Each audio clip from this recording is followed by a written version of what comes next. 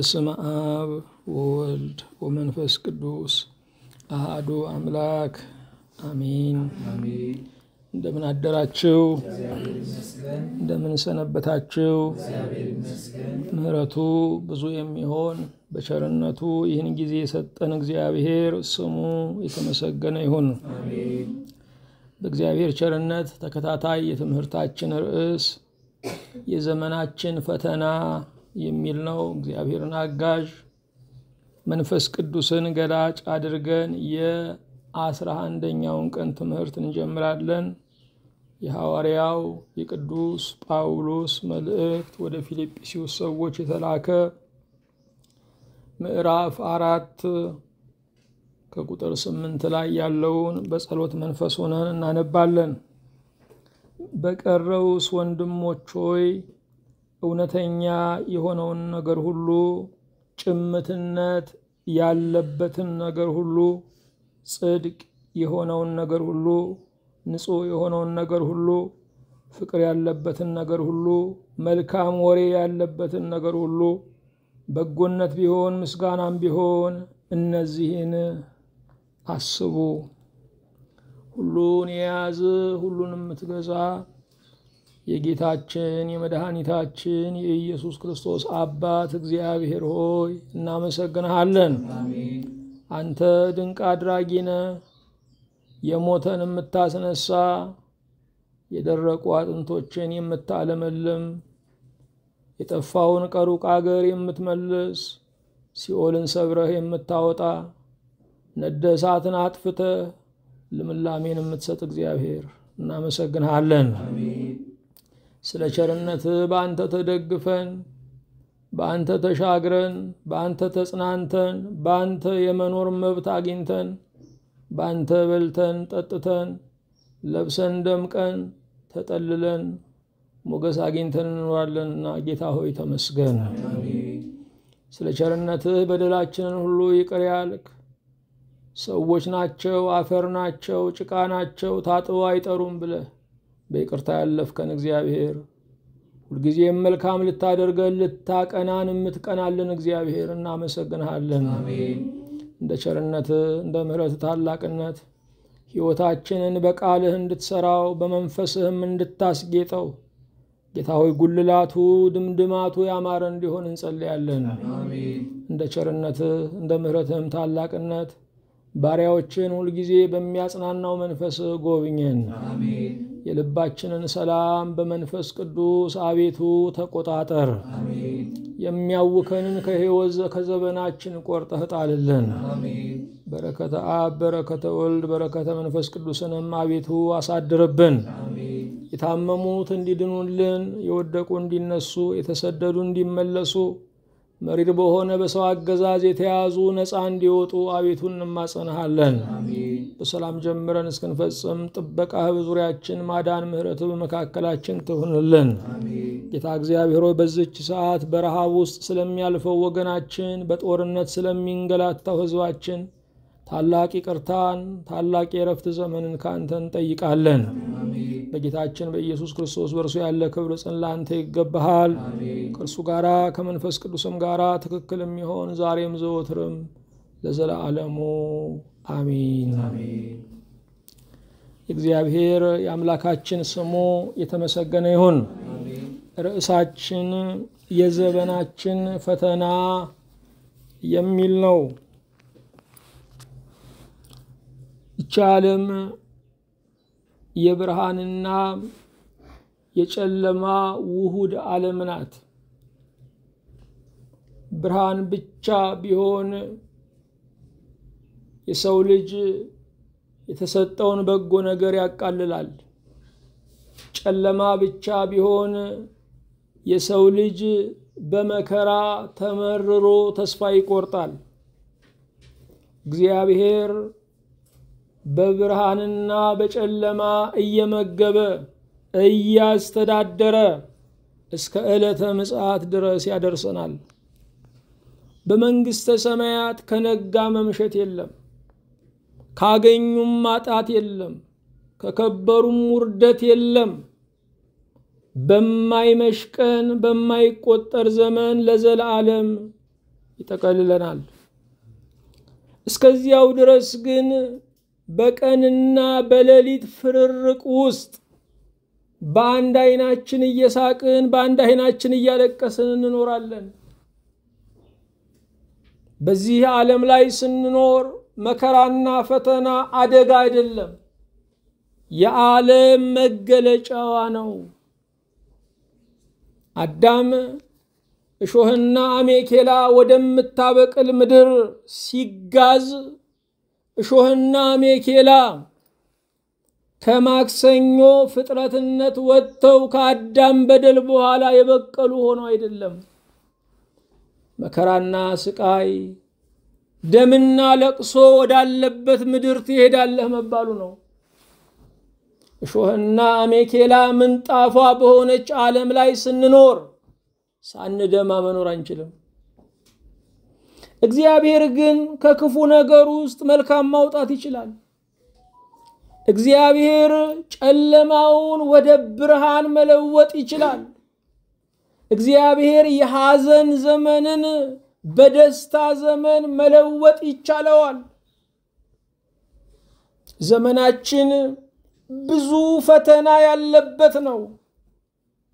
ነገር ግን ፈተናው ብዙ ቢሆንም አዳኙ አንድ ነው። ጥያቄው ብዙ ቢሆንም መልሱ አንድ ነው። እንቆቅልሹ እልፍ ቢሆንም ፈቺው አንድ ነው። በአንድ ነገር ደስ ይለናል። የዘላለም ጥያቄ የለብንም። የዘላለም ጥያቄያችን በጌታችን በኢየሱስ ክርስቶስ በሞቱ በትንሣኤው ተመልሷል። ያለብን ጊዜያዊ ጥያቄ ነው። ያለብን የሚያልፈው ጥያቄ ነው። ይቺ ዓለም ቢገረጡም ቢቆነጁም ታልፋለች። ይቺ ዓለም ቢከብሩም ቢደኸዩም ታልፋለች። ያለብን ጥያቄ የሚያልፈው ነው። የዘላለም ጥያቄያችንን ባለጠጋም ሹምም ወዳጅም አይመልሰውም። ሰው ለራሱ የማይቸረው ደግነት ቢኖር መዳኑ ነው። ያንን በጌታችን በኢየሱስ ክርስቶስ ሕማምና መከራ አግኝተነዋል። ክብር ምስጋና ለእርሱ ይሁን። እኛ የትንሣኤው ሕዝቦች ነን። የትንሣኤ ሕዝቦች ነን። ትንሣኤ ማለት ሞትን ከፊቱ ሳይሆን ሞትን ከጀርባው ያደረገ ሞትን በነበር የሚተርክ መለኮታዊ ኃይል ነው። ሞቼ ነበርኩ ያለው ኢየሱስ ክርስቶስ ጌታችን የሃይማኖታችን ራስ ነው። በምድር ላይ የተነሱ የታላላቅ ሃይማኖት መሪዎች ሞቼ ነበር ብለው ሞትን በነበር አስቀርተው መናገር አልቻሉም። የአይሁድ ሃይማኖት መሪ ሙሴን አልቻለም። የሩቅ ምስራቅ ሃይማኖት መሪዎች ይህንን አልቻሉም። እነ ቡድሃ ይህን ማለት አልቻሉም። ሌሎች የሃይማኖት መሪዎች ይህን ማለት አልቻሉም። ሞቼ ነበርኩ ያለው መቃብሩን ባዶ ያደረገው አንድ ቀን መቃብራችንን ባዶ የሚያደርገው ሞታችንን የኋላ ታሪክ የሚያደርገው ኢየሱስ ክርስቶስ በእውነት ተነስቷል። ክብር ምስጋና ለእርሱ ይሁን ነው። አዎ የዘመናችን ፈተና መለኪያ መጥፋት ነው ብለናል። ወርቁ ቢጠፋ ሚዛኑ እንዴት ይጠፋል ይባላል። አዎ ወርቁ ከአቅም ማነስ፣ ከኑሮ ውድነት፣ ከገንዘብ እጥረት የተነሳ ሊጠፋ ይችላል። ወርቁ ወርቅ ነው የሚለው ሚዛኑ ግን እንዴት ጠፋ? ወርቁን ከአፈር የሚለየው ሚዛኑ እንዴት ጠፋ? የዘመናችን ትልቁ ችግር ጨለማውን ብርሃን፣ ብርሃኑን ጨለማ የሚል ነው። በከተማው ብትወጡ በከተማው ብትወጡ በአደባባይ ላይ ማቆሸሽ የሚጸየፍ የለም። በአደባባይ መብላት ግን ያፍራል። የሚያሳፍረው የትኛው ነው? መለኪያ ሲጠፋ ነውሩ ክብር ይሆናል፣ ክብሩ ነውር ይሆናል። ዛሬ የሰው ልጆች የሚገላቸውን ሱስ በአደባባይ ይዘው መሄድ አያሳፍራቸውም። ቃለ እግዚአብሔርን ተሸክሞ መሄድ ያሳፍራቸዋል። መለኪያ የጠፋበት ዘመን መለኪያ በጠፋበት ዘመን ላይ መሪ እየታጣ ይመጣል። ዛሬ ቤተ መንግስት፣ ዛሬ ቤተ ክህነት በምንድን ነው የሚመራው ብትሉ በማህበራዊ ሚዲያ ነው። አባቶች ለማህበራዊ ሚዲያ መልስ ይሰጣሉ። ፊት ለፊታቸው የተቀመጠውን ራበኝ የሚለውን የአገልጋዩን ደብዳቤ ግን መልስ አይሰጡትም። መለኪያ የጠፋበት ዘመን፣ አፍ ያለው የሚኖሩበት ዘመን፣ ደጋፊ ያለው የሚኖርበት ዘመን፣ እውነት አሸንፋ ያልወጣችበት ዘመን፣ እውነት የተጨቆነችበት ዘመን። ሊጸለይ የሚገባው ጸሎት አንድ ነው፣ እርሱም እውነት ታብራ የሚል ነው። እውነት ስታበራ የተሰደደው ይመለሳል፣ አሳዳጁም ይወጣል።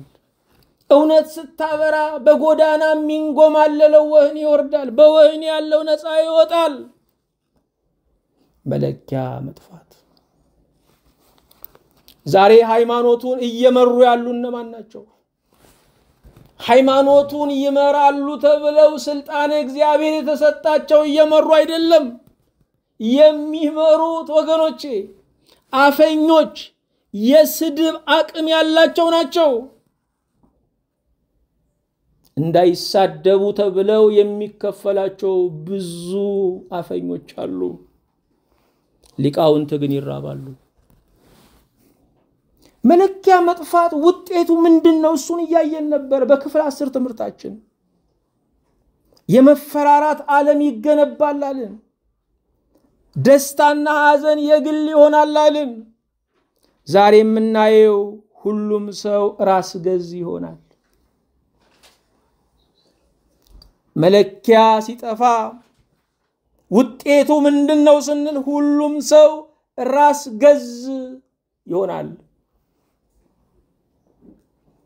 የሰው ልጆች በዚህ ዘመን ላይ ስርዓት ይዘው መማር ለምንድን ነው የማይፈልጉት?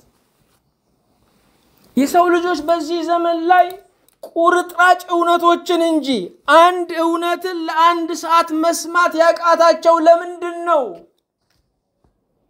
ማንም ሰው የበላይ እንዲሆንባቸው ስለማይፈልጉ ነው። አለቃ አይፈልጉም፣ አዛዥ አይፈልጉም፣ በዚህ በኩል ሂድ ብሎ የሚመራቸው አይፈልጉም። የሰው ልጆች በእውቀት ውስጥ ሳይሆን እውቀት በሚመስል ነገር ውስጥ ተጠምቀው ነው ያሉት። ስለዚህም ሁሉም ሰው ራስ ገዝ ሆኗል። ለራሴ አለቃው እኔ ብቻ ነኝ ይላል። ሁሉም ሰው ራስ ገዝ መሆን ስለሚፈልግ በትዳሩ ብትሄዱ በሩ ያለፉ በፉክክር ሳይዘጋ ያድራል። ሁሉም ሰው ራስ ገዝ መሆን ነው የሚፈልገው። እግዚአብሔር የዚች ዓለም ዕድሜ እንዲረዝም ካደረገበት ምስጢር አንዱ የበላይና የበታች መኖሩ ነው። የበላይና የበታች ማለት የሰብዕና ልዩነት አይደለም፣ የጸጋ ልዩነት ነው። ሁሉ አዛዥ ከሆነ ዓለም ልትቀጥል አትችልም። ሁሉ መሪ ከሆነ ዓለም ልትቀጥል አትችልም። ሁሉ ጳጳስ ከሆነ ቤተ ክርስቲያን ልትቀጥል አትችልም። ሁሉም የበላይ ከሆነ ቤተሰብ ሊቀጥል አይችልም። እግዚአብሔር ይህንን ሰውነታችንን እንኳ ሲያዋቅረው ራስ የሚባል የበላይን በቦታም በችሎታም ከፍ አድርጎ አስቀምጦታል። ራስ ሁሉንም አካል ይቆጣጠራል። ለሁሉም አካል ዛሬ እጅ የሚባለው ያውም የማይሰራው የግራ እጅ ጣት ላይ ወርቅ አርፏልና እልል በሉ ይላል። በአካል ዓለም ደስታው የጋራ የሚሆነው ራስ ስላለ ነው። በጋራ ደስ የማይለን ከሆነ ራስ የለም ማለት ነው። ዛሬ ጥፍር የምትባል እግር ላይ ያለች ቁስለት ደርሶባታል። ሐዘን ይደረግ፣ ባንዲራ ዘግዝቆ ይሰቀል፣ ይውለብለብ ይላል ራስ። ራስ ካለ ሐዘን የጋራ ይሆናል። የግል ደስታ፣ የግል ሐዘን ወገኖቼ ሞቶ መኖር ነው። ደስታችን ደስታ የሚሆነው ሐዘናችን መጽናናት የሚኖረው ደስታችንም ሐዘናችንም የጋራ ሲሆን ነው። ደስታና ሐዘን የጋራ እንዲሆን ራስ ያስፈልጋል። ሁሉም ራስ ገዝ ሲሆን ግን የሰው ልጅ ደስታው የግሉ ይሆናል። የሰው ልጅ ሐዘኑ የግሉ ይሆናል። ይሄ ደግሞ ዕድሜው ወደ ማጠር ይነዳል። አራተኛ የመለኪያ መጥፋት ውጤቱ አራተኛ ሰው የበደለውን መቅጣት ይጀምራል። እግዚአብሔር አምላክ በምድር ላይ ካስቀመጣቸው ታላላቅ ስርዓቶች አንዱ ስርዓተ መንግስት ነው። በምድር ላይ ስላሉ ገዢዎች እግዚአብሔርን ማመስገን አለብን። ከደግ ሕዝብ ክፉ ገዢ ይሻላል። የሕዝብ ደግነት የሚቀጥለው መንግስት እስካለ ነው። መንግስት የወረደ ቀን የምታውቁት ደግ ሊገላችሁ ይመጣል። ከቤታችሁ የበላ ንብረታችሁን ሊካፈል ይመጣል። ይሄ ሁሉ ሰው ጨዋ የሆነው ስርዓተ መንግስት ስላለ ነው። ይሄ ሁሉ ሰው አንገቱን ደፍቶ እኔ ህግ የሚባል ነገር ፖሊስ የሚባል ነገር ነው ብዙ እንደ አልፈቅድም የሚላችሁ መንግስት ስላለ ነው። መንግስት ሲናጋ ሁሉም ሰው አውሬ ነው የሚሆነው። አዳም ሲፈጠር ነቢይ ነው፣ ካህን ነው፣ ንጉስ ነው። ስለዚህም ስርዓተ መንግስት ከአዳም ተፈጥሮ ጋር አብሮ የተሰጠ ነው።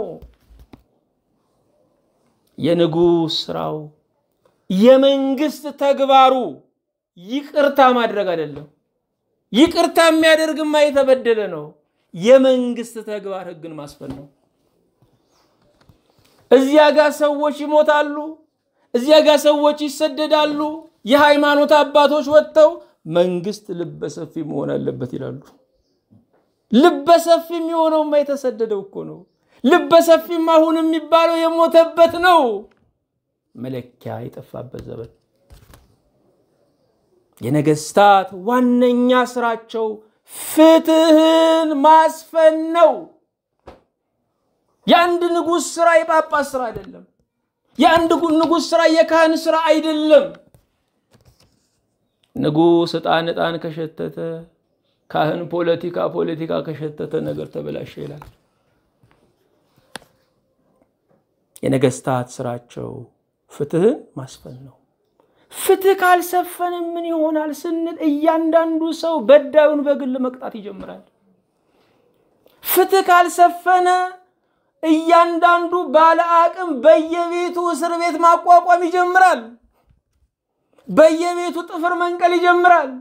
በየቤቱ አይን ማጥፋት ይጀምራል። በየቤቱ የጎዳውን ሰው አካል ማጉደል ይጀምራል። ፍትህ ደምን ያደርቃል። ፍትህ የሚጮሁ ድምፆችን ጸጥ ያደርጋል። የአቤል ደም ይጮህ ነበረ። በኖህ ዘመን የቃኤል ዘሮች እስኪጠፉ ድረስ ፍረድ እያለ ይጮህ ነበረ። የክርስቶስ ደም ከአቤል ደም የሚሻል ነው ተብሏል። የክርስቶስ ደም ለምህረት የሚጮህ ነው። ምህረት አድራጊ ነው። የአቤል ደም ግን ፍትህ ፈላጊ ነው። አዎ ነገስታት፣ መኳንንት፣ ዳኞች፣ አስተዳዳሪዎች ፍትህን ማስፈን ያለባቸው ትንንሽ መንግስቶች እንዳይበዙ ነው። ትንንሽ ፍርድ ቤቶች እንዳይበዙ ነው። በየቤቱ እስር ቤት እንዳይቋቋም ነው። እያንዳንዱ ሰው የበደለውን እንዳይቀጣ ነው። መለኪያ ሲጠፋ ውጤቱ ሰው የበደለውን መቅጣት ይጀምራል። ዛሬ እያየን ያለነው ይህን ነገር ይመስላል። አምስተኛ የዘረፋ ዘመን ይመጣል። መለኪያ ሲጠፋ የቅሚያ ዘመን ይበዛል። ወገኖቼ ከሰው ልጅ ውድቀት አንዱ የሱ ያልሆነውን ነገር የሱ እንደሆነ አድርጎ የኔን ይዘብኛል ብሎ ሲያስብና ሲተናኮል ነው። በምድር ላይ የሰው ልጆች ካላቸው መብት አንዱ ሰርቶ ማግኘት ነው። ያገኙት ነገር ደግሞ በሕግ ከለላ የእነርሱ መሆኑ ነው። በፈቃዳቸው በቁም ይሰጣሉ፣ ሲሞቱ ያወርሳሉ። መለኪያ ከሌለ ዘረፋ በምድር ላይ ሲሰፍን ያለ ውድ በግድ ሰው መነጠቅ ይጀምራል። እንኳን ሲሞት የሚያወርሰው በቁሙ የሚሰጠው የሚበላውም ያጣል። መለኪያ ሲጠፋ ዘረፋ በምድር ላይ ይበዛል። በላቲን አሜሪካ፣ በደቡብ አሜሪካ ብዙ መንግስት ነው ያለው። በብራዚል ብትሄዱ ብዙ መንግስት ነው ያለው። ከመንገድ በታች እንዳትሻገሩ አትመለሱ ነው የሚባለው። እዛ የሚመራ የሌቦች ቡድን ያለው። አንዳንድ ጊዜ መሳሪያቸው መገናኛቸው ከመንግስቱ እኩል ነው። ዘረፋ ማለት ባለበት የሚቆም አይደለም። ራሱን እያሳደገ ባለ አቅም እያደረገ ባለ ሀገር እያደረገ ይመጣል። አዎ መለኪያ ሲጠፋ ዘረፋ እየበዛ ይመጣል። ዛሬ በሀገራችን በሩቅ የምንሰማው እየሆነ ነው ያለው። ሰው በቁሙ በእሳት ሲቃጠል በደቡብ አፍሪካ እንዴት ሰው ያደርጋል? እነኚህ ሰዎች ምነው እንግሊዞቹ እንደገዟቸው በቀሩ ብለን ነበረ። መጣ እዚሁ በቅርቡ። ለካ የሰውን ጠባይ የሚያወጣው ቀን ነው። ለካ የሰውን ጠባይ የሚያወጣው የፍትህ መላላት ነው። ለካ የሰውን ጠባይ የሚያወጣው በጎሳ ማሰብ ሲጀመር ነው። አዎ መለኪያ ሲጠፋ ዘረፋ እየበዛ ይመጣል። ቅሚያ እየበዛ ይመጣል። ዛሬ ንብረት እየሸጡ ንብረት ከተሸጠ በኋላ ለሰውየው ገንዘቡ ይገባል። ገንዘቡን እንዲያመጣ እንደገና ይታገታል። የመግዛትና የመሸጥ የሰው ልጆች ግንኙነት ሊቋረጥ እያለ ነው ያለው። ዘረፋ ውጤቱ ምንድን ነው ስንል ሁሉን ድሃ ማድረግ ነው። ዘረፋ ውጤቱ ምንድን ነው ስንል ሁሉንም ሰው እንዳይኖር ነው የሚያደርገው። ምክንያቱም የስርቆት እንጀራ በሰላም አይበላም። ስድስተኛ ሰዎች በራሳቸው ሕይወት ይጨክናሉ። መለኪያ ሲጠፋ ሰዎች በራሳቸው ሕይወት ይጨክናሉ።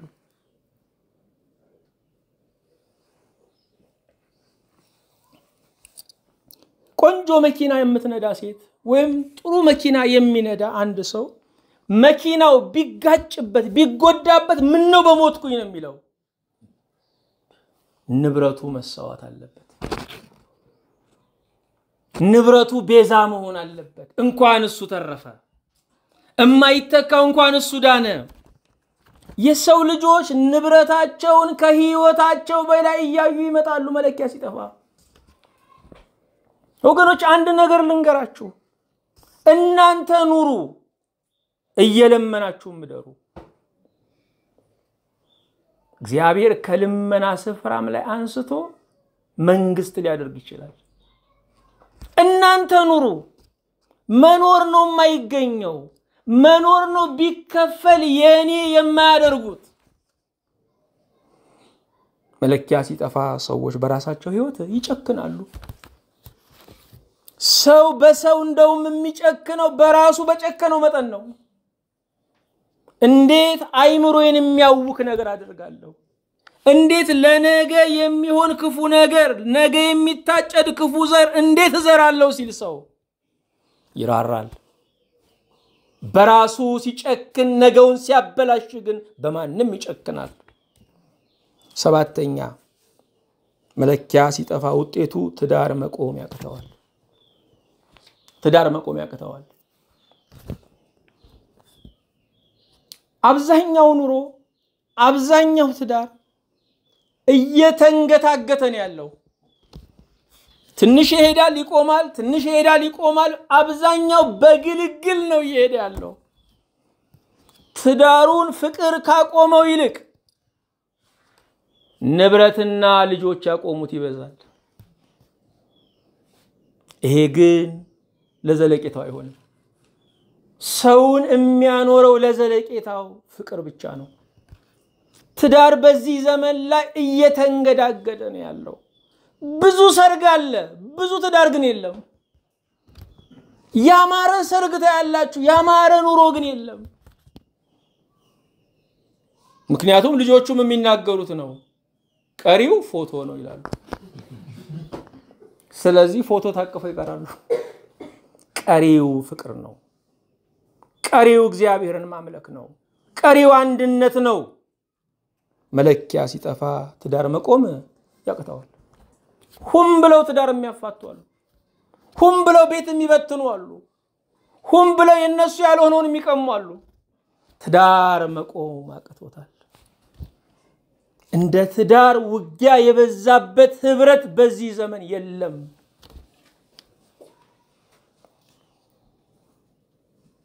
በብዙ አስባችሁ ወደ ትዳር መግባት ይገባል። ከገባችሁ በኋላ ደግሞ እግዚአብሔር የሰጣችሁ ሸክም ነውና በደስታ ልትጓዙ ይገባችኋል። እንኳን ከሰው ጋር ይቅርና ከራሳችሁ ጋር ስትኖሩ ሙሉ ደስታ የለም። በዚህ ዓለም ላይ የማትታገሱት ሰው የማይታገሳችሁ ሰው የለም።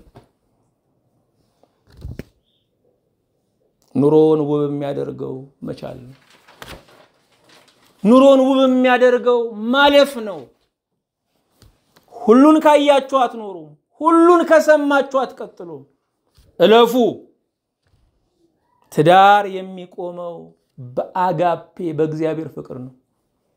ምክንያት የሌለው ፍቅር፣ በምክንያት ላይ የማይመሰረት ፍቅር፣ ሁልጊዜ ይቅር የሚል ሁልጊዜ የሚያልፍ ፍቅር፣ እሱ ፍቅር ነው ትዳርን የሚያቆመው። በኩያ ፍቅር ትዳር አይቀጥልም። በሁኔታ ፍቅር ትዳር አይቀጥልም። በስጦታ ልውውጥ ፍቅር ትዳር አይቀጥልም። በአጋፔ ፍቅር እግዚአብሔር እኛን እንደወደደን አጠገባችን ያለውን መውደድ እሱ ነው የኑሮ ወዙ። መፍትሄው ምንድን ነው? መለኪያ ላጣው ዘመን አንደኛ እውነት የት ነው ያለችው ብሎ መፈለግ። እውነት የት ነው ያለችው ብሎ መፈለግ። መቼም በዓለም ላይ ፍለጋ ያደክማል። የፍለጋ ትንሽ የለውም። እቤታችሁ የተቀመጠ ዕቃ እንኳ መፈለግ በጣም አድካሚ ነው። አንዳንድ ጊዜ ያደረግነውን መነጽር፣ በኪሳችን ያስቀመጥነውን ነገር ሁሉ ስንፈልግ እንውላለን። ስናገኘው ልናዝን እንችላለን። ምን ሆኜ ነው? ልቤ ለምን ከዳኝ? ማን ነው ለዚህ ተጠያቂው ደግሞ እንላለን። እውነትን መፈለግ ያደክማል። እንኳን እውነትን ዕቃን መፈለግም ስለሚያደክም እውነት በዚህ ዘመን ላይ የብዙ ሐሰተኛ አገልጋዮች ውግዘት ቆሞባታል። እውነት በዚህ ዘመን ላይ የብዙ ጨካኝ ነገስታት አፈሙዝ ተቀባብሎባታል። እውነት እንዳትወጣ ዘብ የቆሙ ብዙዎች ናቸው። እውነት ክርስቶስ እንዳይነሳ ብዙ ጠባቂ ነበር፣ እሱ ግን ተነሳ። ሲነሳ ደግሞ እንደገና ገንዘብ ተነሰነሰና በጉቦ ውሸት ነው ሰረቁት ብላችሁ ተናገሩ ተባለ። እስከ ዛሬ ድረስ አይሁድ ያምናሉ። አያችሁ፣ ገንዘብ የሚሰራው ነገር ከባድ። ገንዘብ ያወረው ነገር በተአምር ካልሆነ ሊበር አይችልም።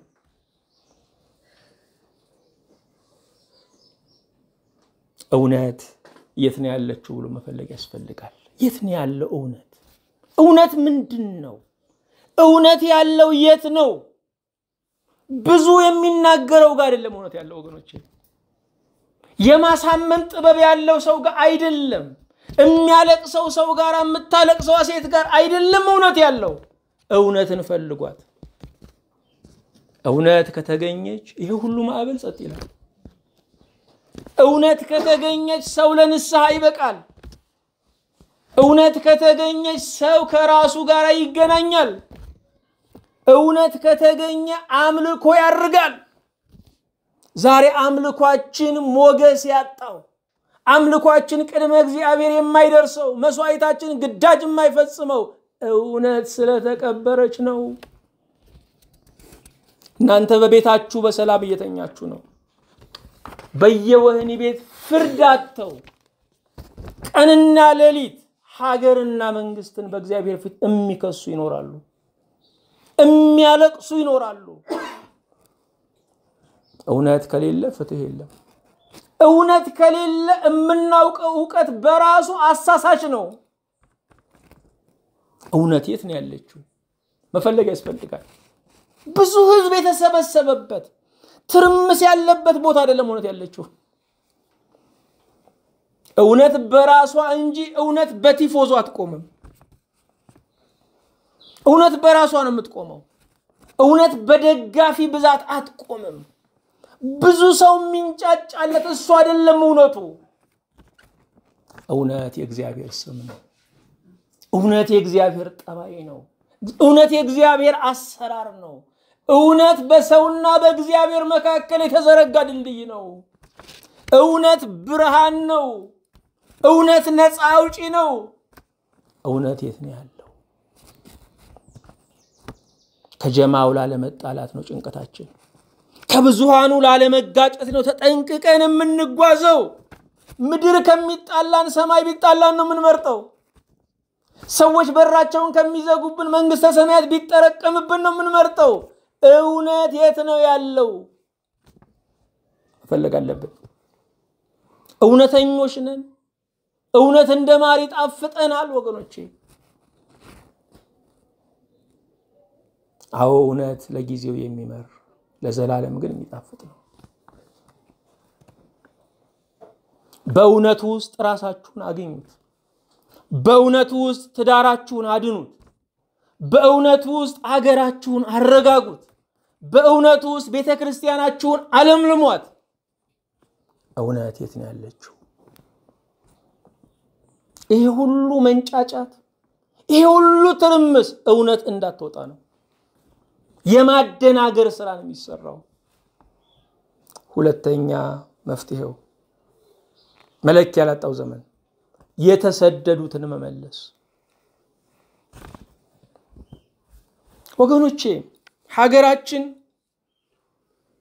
ብዙ የውጭ ዜጎች ይወዱታል። አየሩ በእውነት ምግብ ነው። በአንድ ልብስ ክረምት ከበጋ ይዘለቃል። እጅግ የሚደንቅ አገር ነው። በዚህ ሰዓት በእርግጠኝነት መነግራችሁ በዚህ ሰዓት ላይ በአራቱም የኢትዮጵያ ማዕዘን ኢትዮጵያዊ መውጣት ያስቸግረዋል። አንድ ፈረንጅ ግን በሰላም ወጥቶ ይገባል። ሀገሩ ለባለ ሀገሩ ከሆነው ይልቅ ለባዕድ ነው። ብዙ ተሰዷል። ብዙ አዋቂ ተሰዷል። ብዙ አገልጋይ ተሰዷል። ብዙ ካህን ተሰዷል። የተሰደደው መመለስ አለበት። አገርህ ነው። ያንተም ርስት ነው። ያንተም መብት ነው። ያንተም ድምፅ ይሰማበት መባል አለበት። ያን ጊዜ መፍትሄ እናገኛለን። በቤተ ክርስቲያን እግዚአብሔር የላካቸው ብዙዎች የሉም።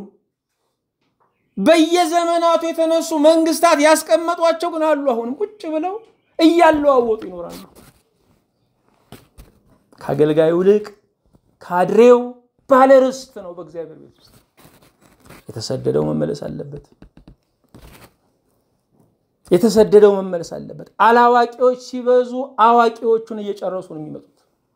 ሰነፎች ሲበዙ ያሳጡናል ብለው ትጎዎቹን እያረገፉ ነው የሚኖሩት። የተሰደደው መመለስ አለበት። ሶስተኛ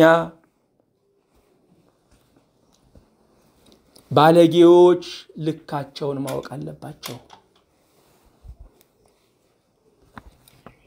እኔ በእውነት እኔም በማቀው ዘመን ልንገራችሁ፣ በማቀው ዘመን የሀገር አስተዳዳሪዎች የሚሆኑ ሌሎችም ከመስመር ሲወጡ ሽማግሌዎች እኛ ሽማግሌዎች ነን፣ እኛን አዳምጡ፣ ትክክል አይደላችሁም ይሉ ነበረ። ይሰሙ አይሰሙ ሌላ ጉዳይ ነው። ትክክል አይደላችሁም፣ ሽማግሌዎች ነን፣ ስሙን። ዛሬ ሽማግሌውን ምክሩን ከመስማት ሽማግሌውን ወደ ማስወገድ ነው። ንጉሱ እንደወረዱ ከአርባ ዓመት በላይ የሆነው ማዳበሪያ ይሁን ብሎ ተማሪ ሁሉ ፎክሯል። ተማሪው አርባ ዓመት ማለፍ አልቻለም። በሙሉ ማዳበሪያ ነው የሆነው፣ ረገፈ። በዚህ ዘመን ተው የሚል ሽማግሌ የለም፣ የሚደመጥ ሊቅ የለም። ዛሬ የሰውን አእምሮ እየመሩ ያሉ እነማን ናቸው ካልን ለአንደበታቸው ልጓም የሌላቸው ሰዎች ናቸው። ስነ ስርዓት የሌላቸው ሰዎች ናቸው።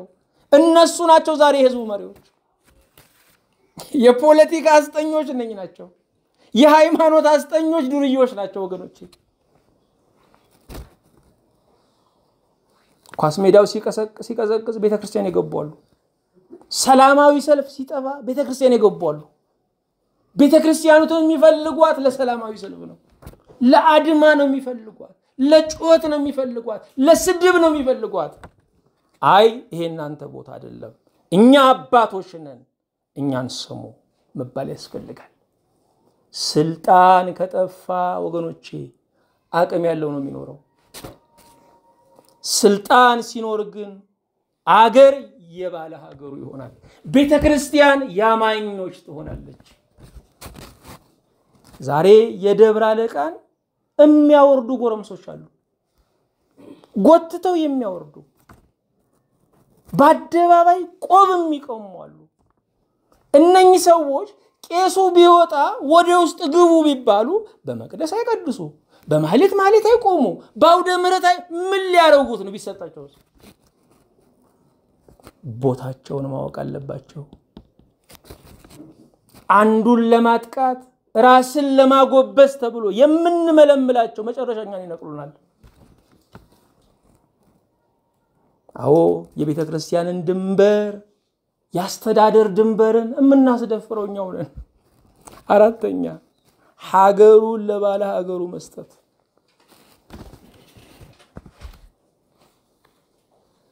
በእውነት እግዚአብሔር በግላችን የምንወስንበት ህይወት ሰጥቶናል። በጋራ የምንወስንበት ሀገር ሰጥቶናል። የሚያስተዳድሩስ ለምን ደሙን በሙሉ ለምን ይወስዳሉ? ወገኖቼ ፍርዱን በሙሉ ለምን ይሸከማሉ? ለሁሉም አከፋፈል ነው። በሉ ምን ትላላችሁ ስለ ሀገራችሁ? ምን ይታያችኋል? ምከሩ። ያን ጊዜ ከተጠያቂነት መትረፍ ይኖራል እኮ።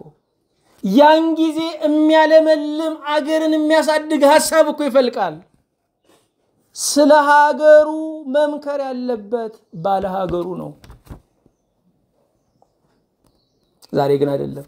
እኛም የምናስበው ሀያላን መንግስታት እንዲጮሁልን ክንዳቸውን እንዲያነሱልን ነው። መሪዎችም የሚሰሙት የሚደነግጡት የውጭ ኃይሎች ሲናገሩ ነው። ማዳመጥ ህዝብ ሲናገር ነው። ማዳመጥ መሪው ሲናገር ነው። ሀገሩ ለባለ ሀገሩ መስጠት አለበት። አምስተኛ የጋራ ሀገርን በጋራ ማቆም የጋራ ሀገርን በጋራ ማቆም ይሄ አንዱ መፍትሄው ነው። አንድ የሚባል ነገር አላለ። ሃይማኖት የግል ነው፣ ሀገር የጋራ ነው ሲባል እንሰማለን። የመጨረሻው ሀሳብ ውስጥ እንውሰደው። ሀገር የጋራ ነው። ሀገር የገሌ የገሊት አይደለም። ሀገር ያስተዳዳሪው፣ ሀገር የሹሙ፣ ሀገር የሁሉም ነው። በደርግ ዘመን ችግኝ ትከሉ እየተባለ መቼም ሁሉ ነገር በኃይል ነበር የሚታዘዘው። ይሄም ትክክል አይደለም። ችግኝ እየዘቀዘቁ ይተክሉ የነበሩ ዛሬ በረሃማ ሆነዋል። ችግኙ ለጓድ መንግስቱ ኃይለማርያም ምንም አስተዋጽኦ ያደርጋል። እሳቸው የሚጠለሉበት ለእኛው እኮ ነው። ሀገራችንን በጋራ ማቆም አለብን። መሪ ቢያናድድህ ሰፈር ማቆሸሽ በቀልም አይደለም፣ ራስን ለጉንፋን ማጋለጥ ነው። ወገኖቼ ሀገር የጋራ ነው። በምድር ላይ ሀጅ ነገስታት አሉ። ህዝብና አገር ግን ቋሚ ነው። ቋሚውን ነው ማሰብ ያለብን። የራሳችንን ድርሻ ነው መወጣት ያለብን። ከዛ በኋላ ደግሞ መውቀስ እንችላለን። እኔ ለሀገሬ ምንድን ነው የማደርገው ማለት አለብን። ቢያንስ ወጥታችሁ ለማጽዳት ጊዜ ካጣችሁ፣ አቅም ካጣችሁ፣ ፍላጎት ከሌላችሁ አታቆሽሹ። ቆሻሻ አትጣሉ ደጃችሁ ላይ። ሀገሩ የጋራችን ወገኖች። ተፈጥሮ ከሰጠናት በላይ ነው የምትክሰን። ስለዚህ ዛፉን ትከሉ፣ አበባውን ትከሉ፣ ደጃችሁን አጽዱ፣ ተፈጥሮ እንስሳውን ተንከባከቡ። እግዚአብሔርን የሚወድ ተፈጥሮን ይወዳል። እግዚአብሔርን የሚያፈቅር ለተፈጥሮ ፍቅር አለው። ስድስተኛ መፍትሄው ብሔራዊ ንስሐ። ብሔራዊ ንስሐ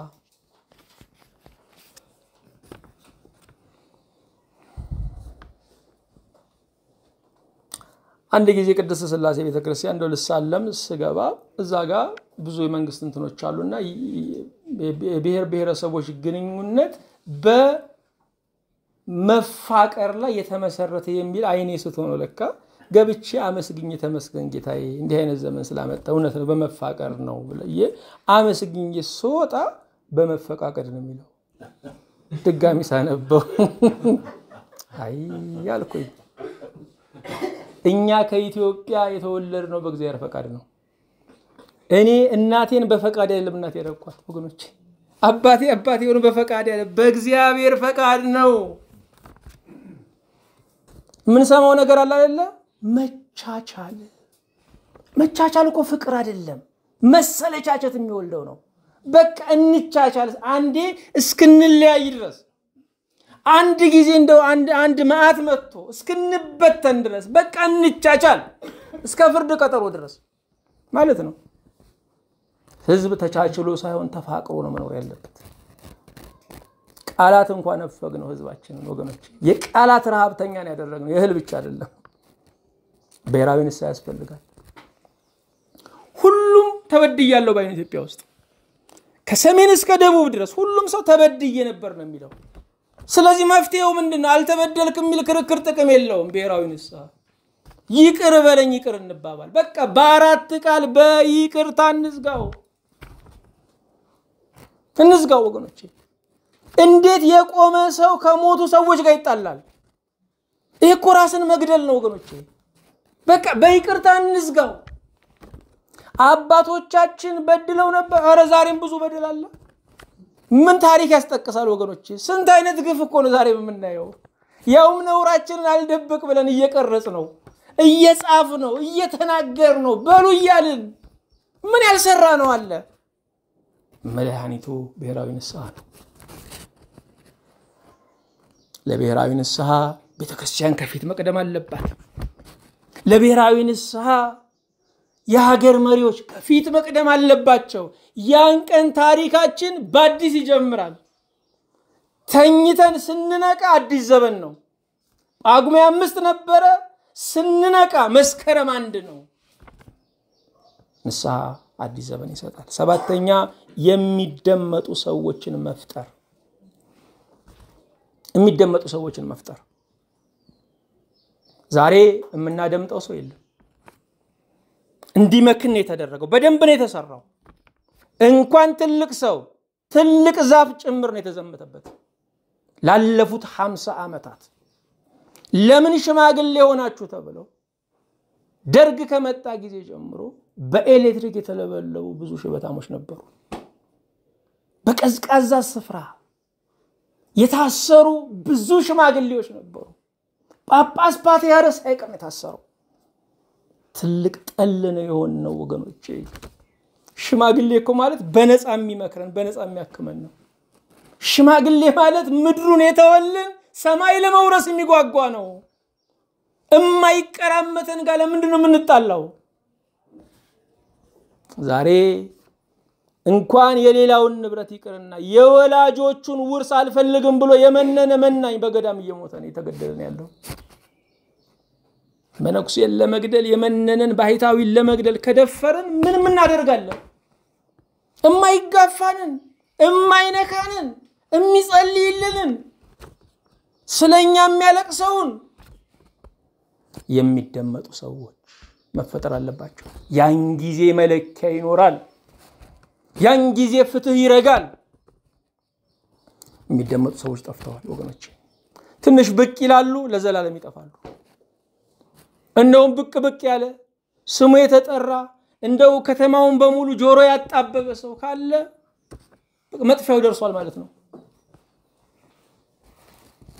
ከዚህ የተነሳ ሁላችንም ብንሆን መውደዳችንን እስክንፈራው ድረስ ስንወድ እንፈራለን።